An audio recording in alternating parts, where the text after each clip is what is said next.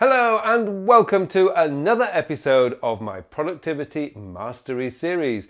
My name is Carl Pullein, and today we're looking at projects and why you should not, and I will repeat that, why you should not be turning everything into a project. Now, before we get started with this, I'd just like to take you back 25 years to the late 1990s when I was working in a very busy law office in the city of Leeds in the United Kingdom. We had a system. Everybody followed the system. Whether you were the managing partner of the company, of the firm, or you were the lowest level administration assistant, we all followed a simple, straightforward system. Very early in the morning, mail would be delivered by the mail the postman, the postwoman, whatever, they would all come into the office. We had a dedicated team of people, I think there was about three of them, who would then process the mail and it would then be distributed to the various departments within the firm.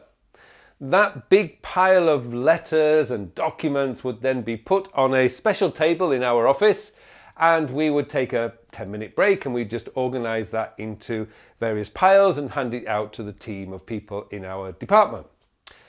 Now the system was very simple.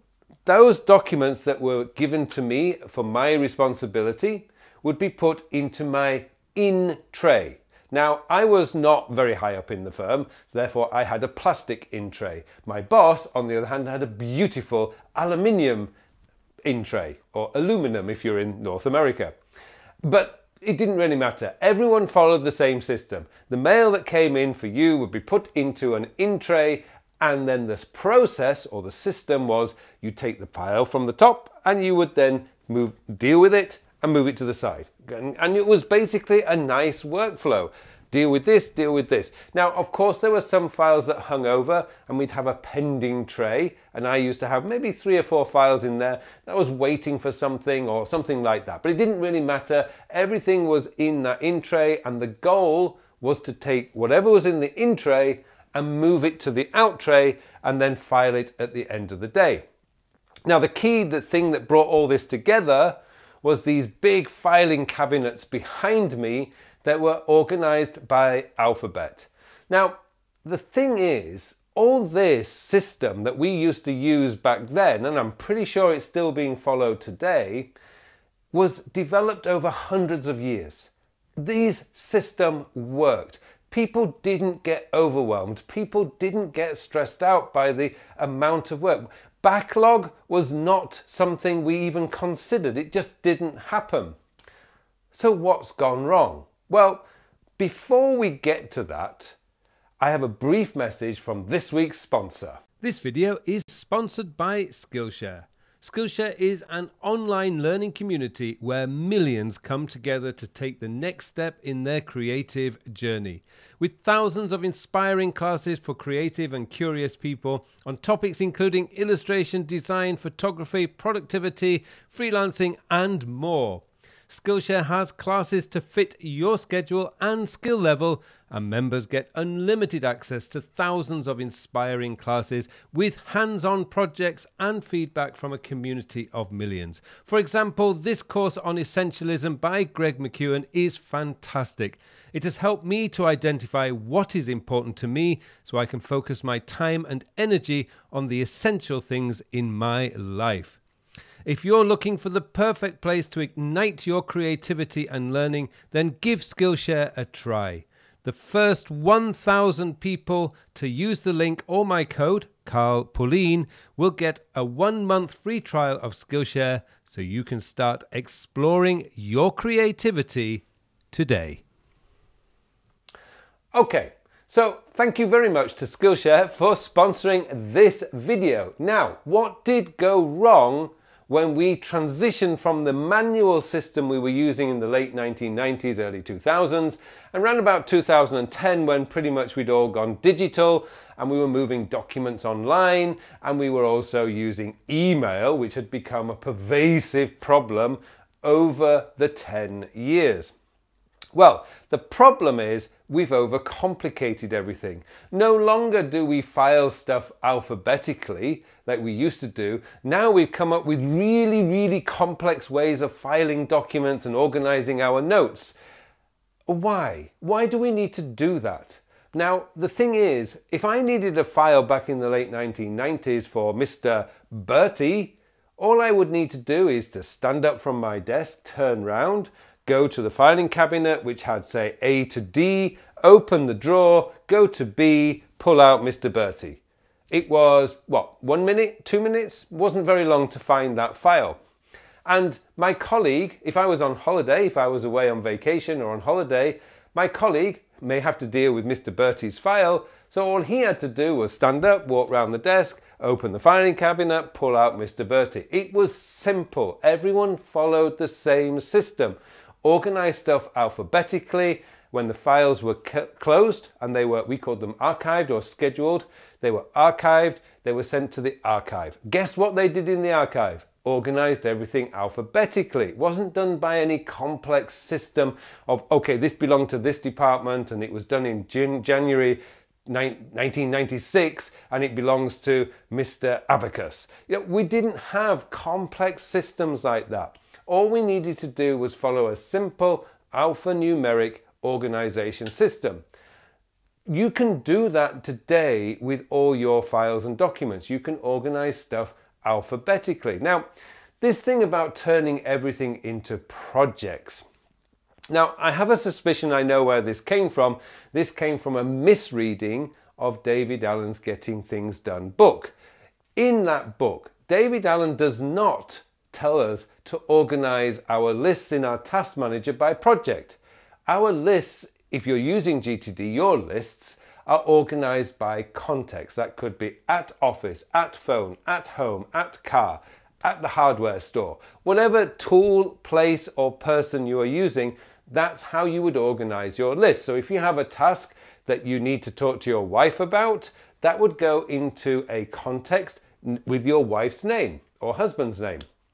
If you have a, a, a, piece of work or a task to do that you have to be at your office to do, that would go into your at office list. Your projects would be organized, wait for it, in an file folder system which you would have near your desk. This is a little bit, GTD is still a little bit on the paper-based side. Today, if you were following a strict GTD guideline, you'd probably have something like Google Drive, Microsoft One, OneDrive or Apple iCloud and you would organize all your projects in there in folders just like they used to be done in GTD. Where this idea of organizing all your tasks by project has come from, I do not know. It's someone had made a mistake somewhere and it just exploded from there. But that is not how GTD works. That's not how even the most productive people you know work because the most productive people I know and the most productive people in the world don't organize tasks by projects. I think, as David Allen says, most people have between 30 and 150 projects. Well, if you've got even just 30 things organized in your task manager, you're overwhelmed before you start. And that's on the low level. So, what, do, what can we do? Well, of course, you could follow my system, which is the time sector system, and I've talked a lot about that, which is organizing your tasks by when you will do them. But another way of doing this is to stop treating everything as a project. Look at your work. What is your work? What are you what are you employed to do? This is where your core work comes in. Now, let's just take for example a pilot. It doesn't matter whether a pilot is flying from Los Angeles to San Diego, which is I think a 45 minute flight, or a pilot who's flying from London to Sydney, which is I think it's an 18 hour flight. They follow the same process. They check the plane, they check the weather reports, they check their flight de destination, they, their flight path that they follow, they're being aware of any storms might be on the way, they check everything. But it's a process. They follow the same process every time they start their day. Equally, a doctor in an operation room, you know, a surgeon, they don't treat every patient as a project, it's just a process. I go to the surgery suite, we have a checklist that we follow, and we follow that checklist, perform the surgery, and the patient is wheeled out. Salespeople, not every client that you have is a project. A client is just something that you have to contact, or someone, I should say, that you need to contact. It's a process. You follow a process. So if you're a salesperson, all you need is what's the list of people I need to call today, go to see today, and perhaps I need to result, you know, set up their order with our our order department. So rather than treating everything as a project, look at the process of doing your work. Now, I don't treat each of the videos that I produce as a project. They're just something that I put together on a weekly basis. Equally, writing my blog post, I put on a, you know, I have a time each day, or each week, I should say, where I put, I start doing my writing. All I need is a list of things to write about. Now, something bigger, for example, if I'm doing an online course or writing a book, well, the same rule kind of applies is what's the process of writing a book? Well, it's just sitting down and writing pretty much every single day for a minimum of 30 minutes. After a period of six to eight weeks, I have a book, or at least the first draft of a book.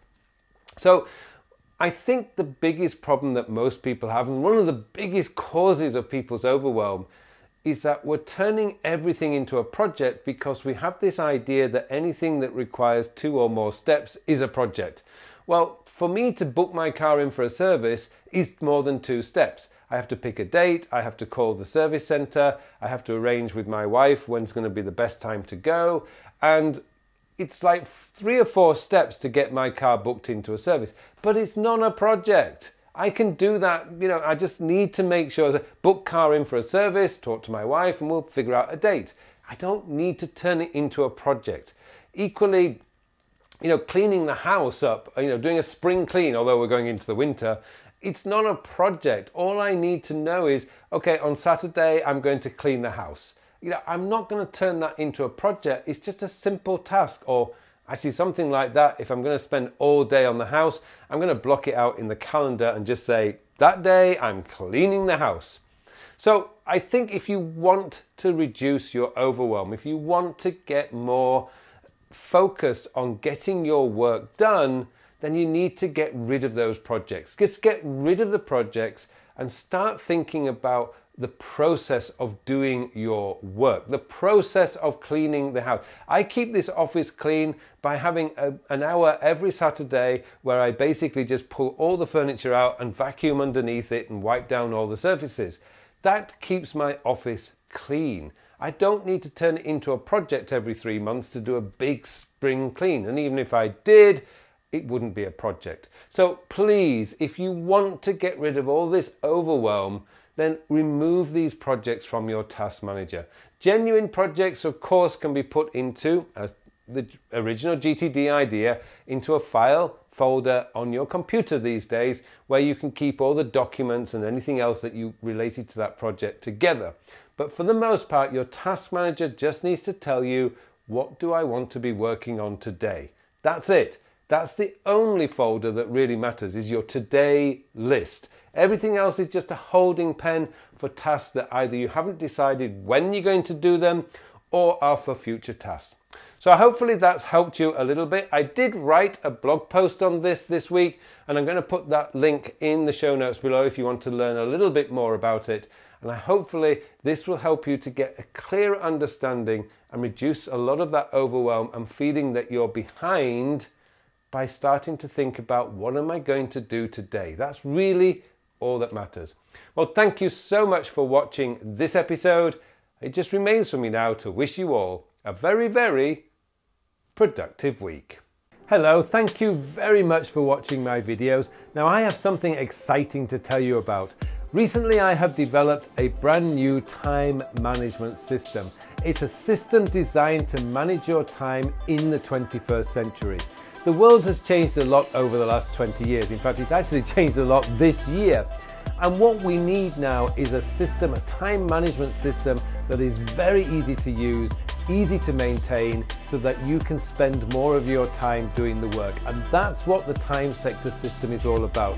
It's going to change your whole belief system about way the way a time management system should work because this focuses on when when you are going to do the task And let's be honest, it doesn't matter how motivated, inspired, or how urgent something is. If you don't have time to do it, it is never going to get done. And that's what this system is built around getting your work done so you can spend more of your time doing the things that you want to do. I hope you join me in this course. The full details of the course are in the show notes below, so please join me and thank you very much for watching this brief video.